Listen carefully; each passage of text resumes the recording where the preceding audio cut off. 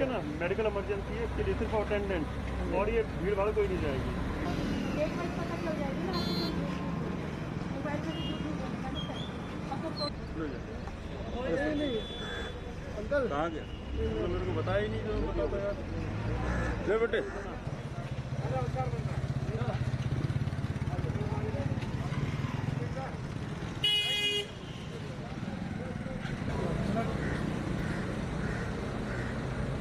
दवा की दुकान फार्मेसी का कहाँ पर दुकान है। गाजियाबाद का है। ना तो आप दिल्ली पा रहे हैं बात पास है? नहीं लगा